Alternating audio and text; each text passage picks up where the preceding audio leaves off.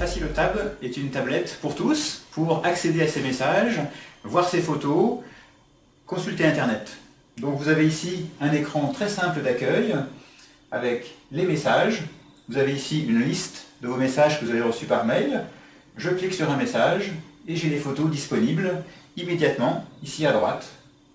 Je peux voir les photos suivantes et faire défiler tous les messages, toutes les photos que j'ai reçues. Facilement, je reviens à l'accueil. Je peux aussi accéder directement à toutes les photos que j'ai déjà reçues par mail. J'ai accès également à Internet, c'est inclus sur la tablette de base. On peut chercher un mot-clé, il suffit de saisir ici le mot que vous recherchez. On a prévu deux claviers pour entrer les caractères. Le clavier ABC, facile pour trouver les touches. Et puis vous avez le clavier AZERTY qui permet d'avoir le clavier standard. Pour les caractères accentués, vous avez un clavier spécifique avec tous les accents.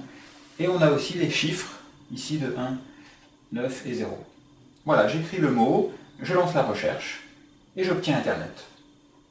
Voilà, Facilotab est une tablette très facile à utiliser, qui est également évolutive, puisque je peux ensuite installer d'autres applications. En cliquant sur Applications ici, on peut avoir accès à toutes les applications Android que vous souhaitez.